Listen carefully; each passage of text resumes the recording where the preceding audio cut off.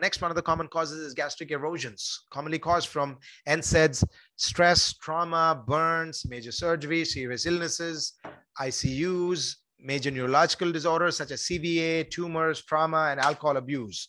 So we'll, those are the erosions. Now, the most important thing after peptic ulcer disease is variceal bleeding, which you're going to see a lot in your medical or gastro rotations or your or your emergency room rotations or your liver rotations.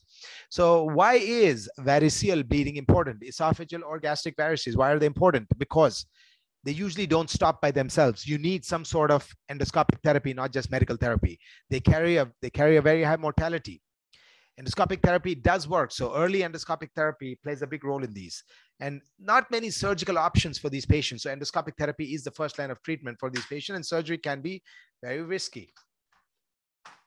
So these are the varices that you're talking about coming from the esophagus. When there's high portal pressures in the abdomen due to portal hypertension, the pressure gets transmitted onto the stomach and the esophagus, leading to the esophageal varices and the gastric varices, all happening from restricted blood flow through the liver and backflow from the liver and the spleen into the portal system, which reflects in the esophagus and the stomach. So this is a good picture of esophageal varices. You see the nice, juicy, engorged blood vessels in the mid to distal esophagus. This is a classic for esophageal varices. As and as and as the pressures go up, one of those busts open and then you start having fresh blood vomiting through the patient's mouth. This is the picture of a large gastric varix in the fundus of a patient.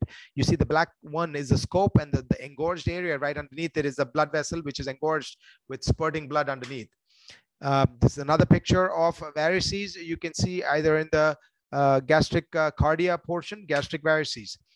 Um, any of you guys know this um, image? This is the picture of an endoscopic ultrasound showing images of gastric ulcer or uh, sorry, gastric varix, the engorged blood vessels in the gastric fundus.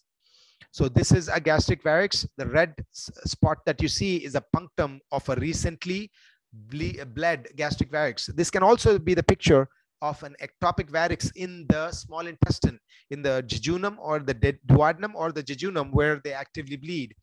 Uh, more so, it's looking at the folds over there. This looks more like an ectopic varix in the uh, distal distal duodenum or the jejunum.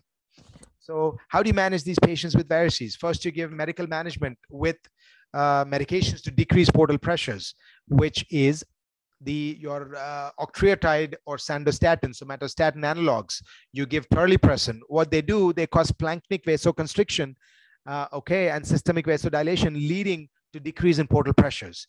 Then, after giving medications along with PPI and these terlipressin and sandostatin, octreotide, and somatostatin analogs, you start the you start endoscopy. You do endoscopic therapy.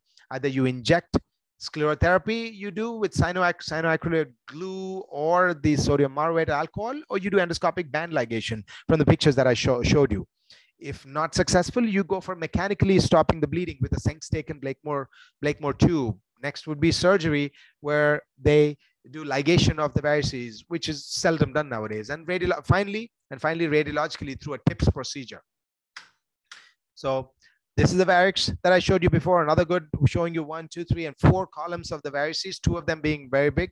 Band ligation is performed usually on a routine basis in any liver clinics. This is um, um, a varix. There are some signs of bleeding in a varix. What we talk about is um, a red wale, W-A-L-E sign, or a white nipple sign. This, this is a white nipple sign that you see on top of the varix which is a sign of recent bleeding and a sign that there is a very high risk of bleeding in these patients.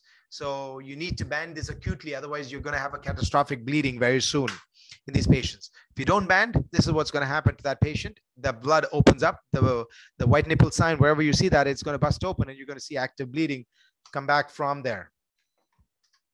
So this is a very good description or a picturization of the variceal band ligation. You can see how we attach the instrument to the tip of our scope and we apply the bands at different areas in the distal esophagus to stop the bleeding. Same picture of the band ligation after we place the bands on the varices. This is a picture of the Sengstaken Blakemore tube where we introduce the Blakemore into the stomach. There's a gastric balloon and the esophageal balloon, which we inflate either with air or with saline to cause a tamponading effect. So once we do that, we tie it up to the tip of the nose so that it stays in place. Again, it has the esophageal balloon and the gastric balloon as a component to it. X-ray picture showing a whiteout on the right side and at the same time showing that uh, the patient, uh, many of these patients are usually intubated on the ventilator, but then we put because of the active bleeding for airway protection and uh, the whiteout of the lung. And then you see the, the balloon in the stomach that has been inflated. Finally, you also see the portal hypertension, what causes portal hypertension. Probably is a busy slide for many of you guys. It just shows you the endoscopic therapy, what we do.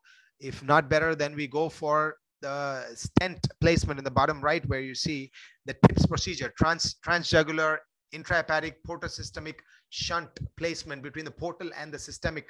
And next cases would be surgery where they put a distal splenorenal shunt to decrease the portal uh, pressures. That would be the surgical therapy that would be performed.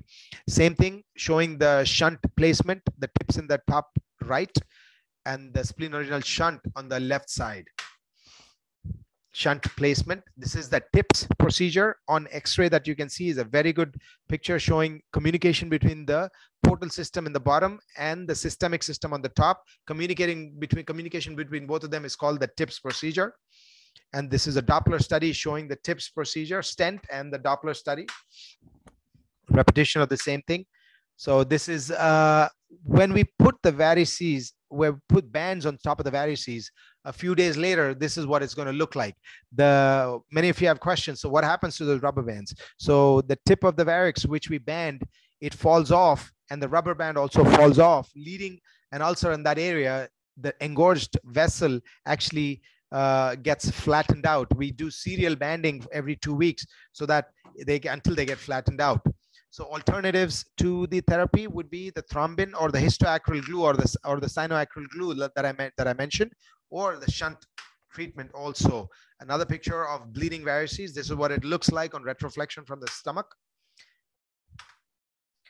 So after the endoscopy, other other uh, uh, uh, other causes for up, uh, for upper gastrointestinal bleeding, malignancy also is a very common cause for bleeding. esophageal cancer, gastric cancer, or lymphoma, small intestinal lymphoma, or cancer are some of the other causes and benign causes such as uh, such as leiomyoma.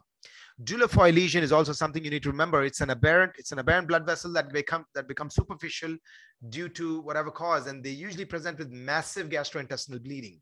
Angiodysplasia or AV malformation, usually common in the elderly or renal patients or patients with aortic stenosis or CLD patients.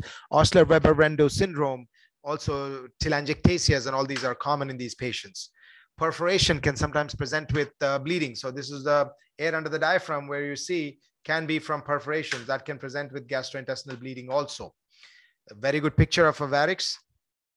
Again, repetition of the same picture of a varix. This is an ulcer with a red spot with uh, uh, signs of recent bleeding, Forrest grade 2 ulcer.